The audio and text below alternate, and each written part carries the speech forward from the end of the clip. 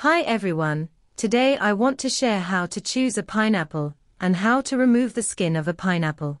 First of all, choose a pineapple with a little golden yellow on the skin surface, then it will be sweet and delicious. Cut off the bottom of the pineapple, then cut off the top of the pineapple. Then, cut off the skin of the pineapple. Then cut off the spines of the pineapple at an angle of 45 degrees. Cut off all the thorns like this. Rinse the pineapple, then cut the pineapple into quarters, and then cut into small pieces. Put the cut pineapples in a container and store them in the refrigerator. Or cut it into small pieces and blend it into pineapple juice, or make pineapple water. You can also use it for pineapple fried rice and fruit salad. Friends who like my videos, please subscribe, share and like. Thank you for watching.